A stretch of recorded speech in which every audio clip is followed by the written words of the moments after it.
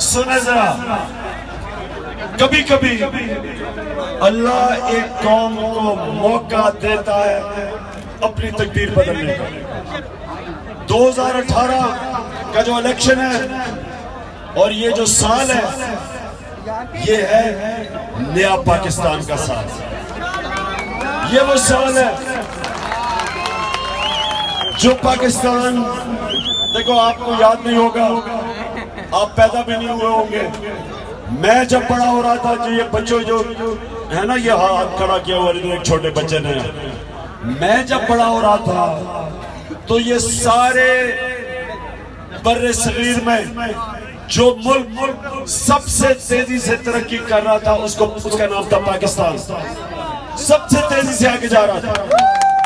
سنو سنو سنو سنو سنو۔ تالیاں نہیں بجانی، یہ بڑی افسوسناک کہانی ہے کہ یہ اوپر جاتے جاتے یہ جو نیچے آنا شروع ہوا ہے، اس کی سب سے بڑی وجہ یہ ہے کہ اگر آپ ایسے دیکھیں کہ آپ کا گھر ہو اور آپ کے گھر کا جو جو باپ جو گھر چلاتا ہو، وہ جب باپ اگر گھر کو لوٹنا شروع ہو جائے تو گھر کا کیا بنے گا؟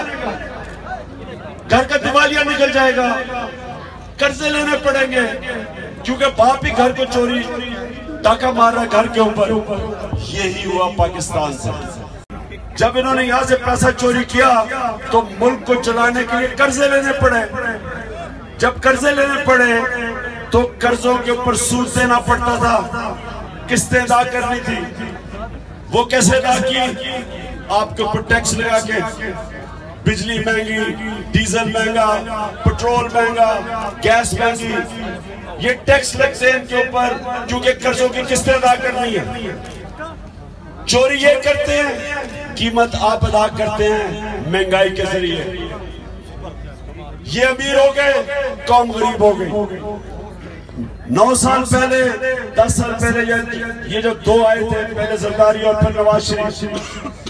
ہر پاکستانی کے اوپر پینتیس ہزار قرضہ تھا۔ آج ہر پاکستانی پہ ایک لاکھ تیس ہزار روپیہ قرضہ ہے۔ آپ کو اوپر قرضے چڑھا گئے۔ خود یہ بھی اربوں پتی، ان کے بچے بھی اربوں پتی، ان کا منشی اسحاق وہ بھی اربوں پتی، شباز شریف اربوں پتی، اس کا بچہ، اس کا دباؤ سب اربوں پتی بن گیا تو یہ جو ہماری جنگ ہے یہ چوروں ڈاکوں کے خلاف ہے۔